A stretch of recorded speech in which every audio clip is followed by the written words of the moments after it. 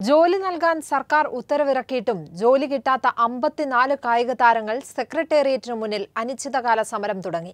ദേശീയ ഗെയിംസിലടക്കം കേരളത്തിന്റെ അഭിമാനമായവരാണ് സമരത്തിനിറങ്ങിയത്. എന്നാൽ കായിക താരങ്ങളോട് സംസാരിക്കാൻ പോലുമില്ല എന്ന നിലപാടിലാണ് കായിക മന്ത്രിയും സർക്കാരും.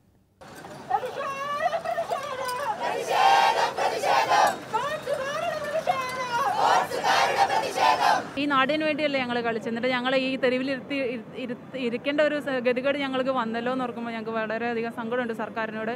അവരെന്തുകൊണ്ടാണ് കണ്ണു തുറക്കാത്തത് ഞങ്ങൾക്ക് മനസ്സിലാവുന്നില്ല. ജോലി കൊടുത്തെന്ന് സർക്കാർ പറഞ്ഞവരാണ് ഇരിക്കുന്നത്. ജോലി നൽകാൻ ഉത്തരവിറക്കിയ ഇരുന്നൂറ്റി നാൽപ്പത്തി ഒമ്പത് പേരിൽ നൂറ്റി തൊണ്ണൂറ്റിയഞ്ച് പേർക്ക് ജോലി നൽകി. അതിൽ അമ്പത്തിനാല് പേരെ പരിഗണിച്ചതേയില്ല. ഞങ്ങളും തുല്യമായ അവകാശമുള്ളവരാണ്. അവകാശമുള്ളത് കൊണ്ടാണ് ഞങ്ങൾ ലിസ്റ്റിൽ പേര് വന്നതും. എന്നിട്ടും ഞങ്ങൾക്ക് ആ ഒരു ജോലി നൽകിയില്ല എന്ന് പറയുമ്പോൾ ഞങ്ങൾ പിന്നെ എന്താ ചെയ്യേണ്ടത്? പട്ടികയിൽ മുന്നിലുള്ളവരെ മാറ്റി നിർത്തി. താഴെയുള്ളവർക്ക് ജോലി നൽകിയതും നേരത്തെ വിവാദമായിരുന്നു. ജോലി കിട്ടാത്തവർ സ്പോർട്സ് കൗൺസിൽ ഓഫീസിന് മുന്നിൽ നിന്ന് പ്രകടനമായി ഭരണസ്ഥിരാ കേന്ദ്രത്തിന് മുന്നിലെത്തി. രണ്ടായിരത്തി ഇരുപതിലാണ് ഈ അമ്പത്തിനാല് പേർക്ക് ജോലി നൽകാനുള്ള പട്ടിക പ്രസിദ്ധീകരിച്ചത്. ഒരു വർഷം കഴിഞ്ഞിട്ടും ജോലിയില്ല. എന്തുകൊണ്ട് കിട്ടുന്നില്ലെന്ന് കായിക മന്ത്രി മിണ്ടുന്നില്ല. ജോലി കിട്ടിയാലേ ഇത്തവണ തിരിച്ചു പോകൂ എന്ന നിലപാടിലാണിവർ.